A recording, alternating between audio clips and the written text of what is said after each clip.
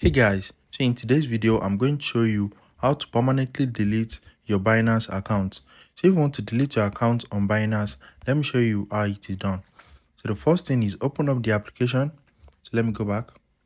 Once you open the application, click on the app icon at the top left corner.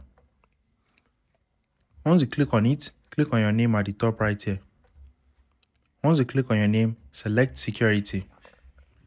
Right here in security, scroll down to the bottom and click on manage accounts. Once you click on it, you are going to see two options. The first one is disable and the second one is delete account. So if you want to permanently delete your account, you need to select the second option. Once you click on it, you can select any reason why you want to delete your account. So I'm just going to select no longer want to use this account. After that, click on continue. Once you click on continue, you need to read all these terms and con condition and you need to click on accept and continue.